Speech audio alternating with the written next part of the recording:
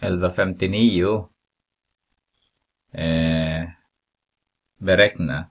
Så har vi A där. 23 dividerat med 100.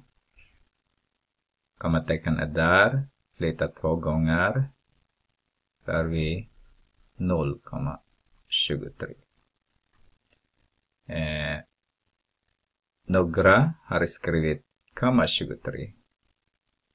Men det är inte den formen som vi har i Sverige.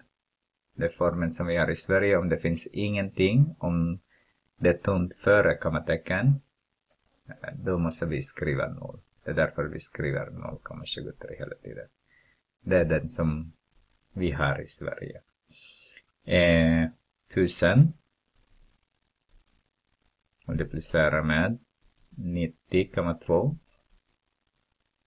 det är tre gånger vi ska göra. En, två, tre.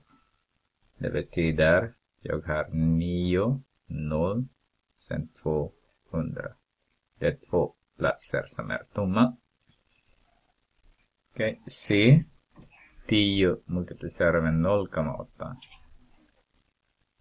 Och vi flyttar en gång till höger så har vi bara 8.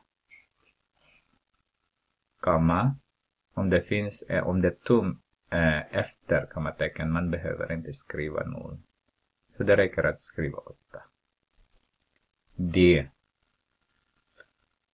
77 dividerar med 1000. Så har du kommatecken där igen. Flytta tre gånger. 1, 2, 3. Och det finns tomma före kommatecken så är tom, så jag skriver 0. Finns tom här, någonstans här. Och 77.